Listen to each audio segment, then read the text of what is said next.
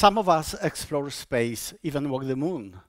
Most of us have access to vast knowledge right at our fingertips and advanced technologies in our homes, offices, and cars. Most of us do, but not all of us. I would like you to meet two of my friends. This is Tilahun Abebaw. He comes from a small village in southern Ethiopia. A few years ago, he presented me with this spear. And he said that as a kid, he used a spear just like this to hunt antelopes and hyenas. At 18 years of age, Tilahun got his first shoes. Every Monday he walked 15 kilometers, still barefoot, to his school, carrying with him the food for the whole week. He slept and worked on a piece of rented floor. Despite all his hardships, Tilahun in 2009 got a PhD in mathematics in Sweden. And today he's responsible for postgraduate studies and research at the Department of Mathematics at the University of Addis Ababa. And this is Fanja Rakotondrajao. She's from Antananarivo, Madagascar, and is the first female PhD holder at her country.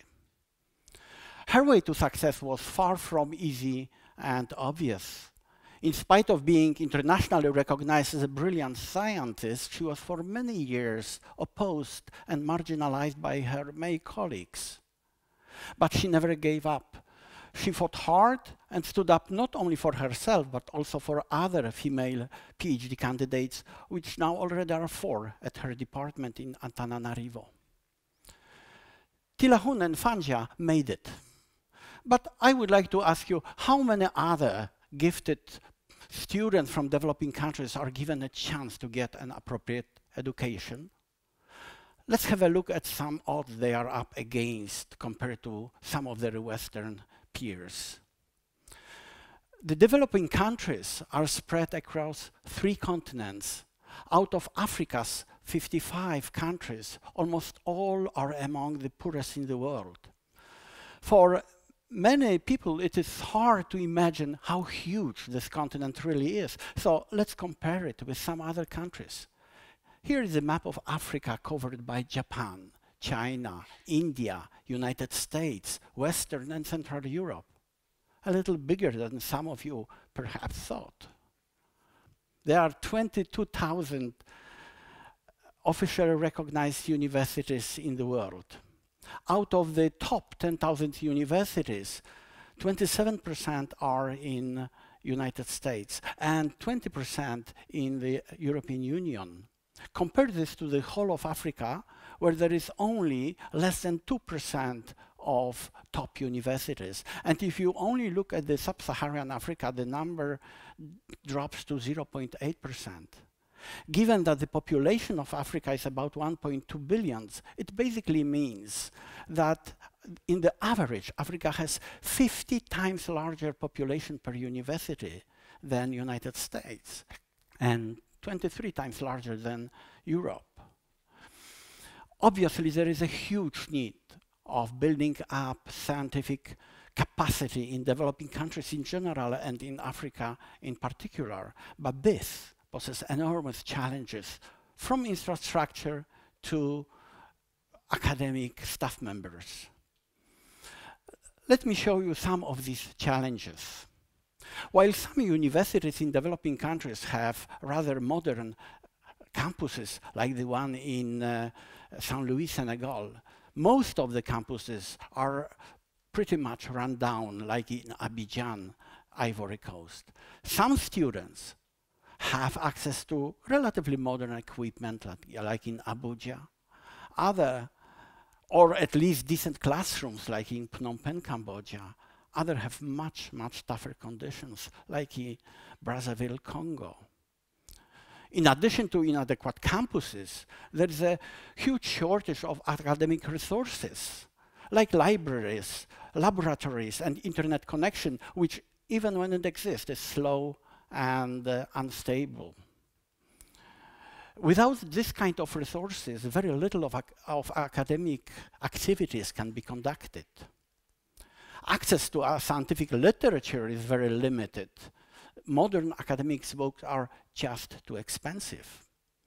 At some point, I gave a course in uh, Nairobi for 50 master students from seven countries. And in this course, I used a textbook published in the United States.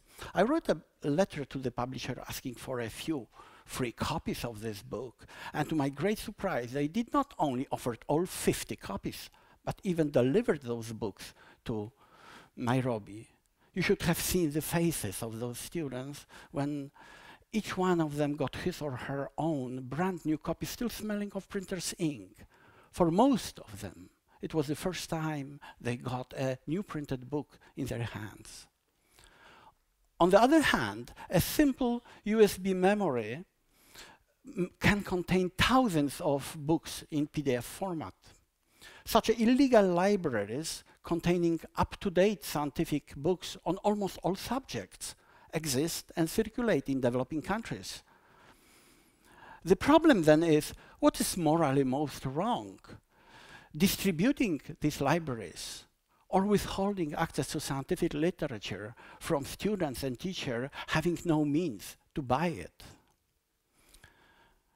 Another important issue is gender and ethnic equality, which may take decades to solve.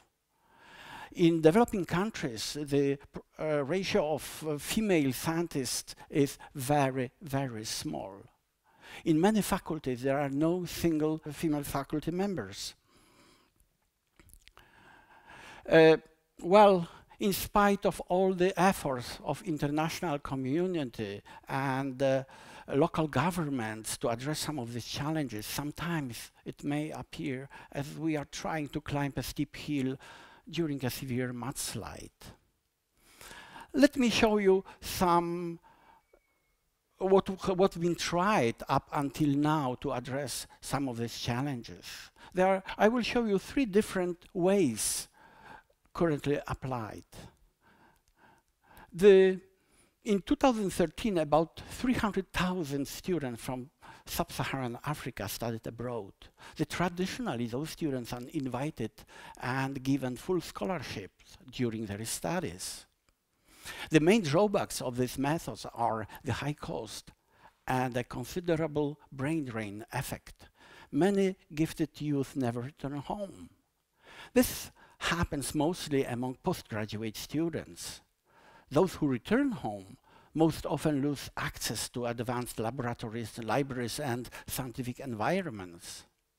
So although this method benefits individual students, it has a negative effect on the whole idea of building up scientific ecosystem in developing countries. Another method as developed uh, for postgraduate students, as developed by the International Science Program ISP at Uppsala University, is based on university studies at home while visiting supervisors at the host university a few months each year. Although these methods decreases the brain drain effect, the costs are still pretty high. Our focus at, in the ISP is on mathematics, physics, and chemistry. And um, the main goal is building up a sustainable scientific capacity of one university or a network of universities. Uh, usually this is a long-term commitment of 15 to 20 years until such a scientific environment is well established um, supporting those universities with necessary infrastructure like libraries and laboratories is always part of the project. The main objective is not to support individual students, but rather universities and countries. By educating a good number of PhD holders, one create a critical mass of scientists who will be able to conduct further development and research on their own and hopefully educate and inspire new scientists. The third method of bringing education to developing countries, a method which I personally strongly believe in and which could, as I see it, achieve even better results, is to create a number of centers of excellence uh, strategically located at developing regions. Each such a center will form kind of local scientific cluster which will serve and interconnect nearby countries. The host country will have a close cooperation with one prestigious university in the West, which will guarantee high level of education and during some initial period of time, uh, issue master or PhD certificates. The faculty members will be recruited worldwide. At some point, when such a center gains international recognition, it will be fully turned over to the host country. One of the pioneers in this approach is Stockholm University, which together with the University of Dar es Salaam is currently setting up the Pan-African Center for Mathematics. The plan is to accommodate at least 40 gifted postgraduate students every year from the whole continent. It is though arrogant, patronizing, and sometimes very wrong to export our solutions to developing countries. What is more, more important is to teach out the methods of problem solving and let the local scientists and policymakers solve the local problems. They understand their conditions much better than Western scientists in their sterilized environments will ever do. Thanks to all international and local efforts, the noted progress is quite visible in some countries. Some 12 years ago, in Ethiopia, with a population of 75 million, there were only three universities and less than 10 PhD holders in total. Today, the number of higher learning institutions increased to 32, and the number of PhD holders passed 100. Still, those new universities suffer from a lack of well-educated staff members. Now, my personal focus and passion is on mathematics. It is never meant that studying mathematics must lead definitely to become a professional mathematician. What is most important is to educate good problem solvers, since problem solving is fundamentally important in any career. Let me illustrate problem solving with one simple question. Since you all are familiar with the multiplication table, it shouldn't be difficult for you, and I think you will have an answer within less than one second. Look, I have 10 fingers on my hands. How many fingers are there on 10 hands? Obviously, all of you already arrived to the answer, although in my experience, less than 3% of the audience have the right answer, which is 50. Most common and uh, quick and wrong answer is 100. Problem solving is much more than just calculation skills solving real life problems often has similarities to solving mathematical problems. The strategies, solving strategies we use in math are applicable far beyond mathematics itself. So what we do, we teach students to solve mathematical problems while in reality, we teach them how to understand and analyze the situation, which is the problem to be solved and what variables to act on, what strategies to use in order to find a solution.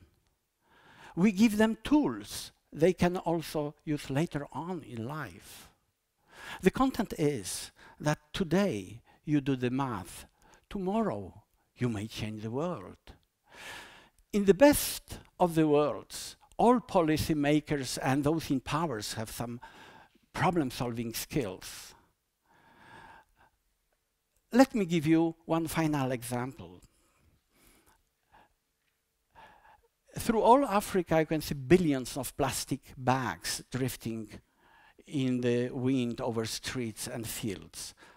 Besides being a serious littering problem, these bags cause diseases and death among cattle that unfortunately eat them. Innocent Kabenga from Rwanda studied environmental sciences in Sweden and went back. In Rwanda, he was in the position to ban plastic bags from his country, the first such national ban in the world. Today, Rwanda is plastic bags free and is the cleanest country in Africa. Students with mathematical backgrounds solve problems of uh, uh, build mathematical models for solving problems of water supply, disease control, agricultural improvement, uh, communication, and so on and so forth. Some became uh, successful engineers, doctors, scientists, and even politicians. But this is only the beginning, and much, much more effort has to be done before the actual need will be met.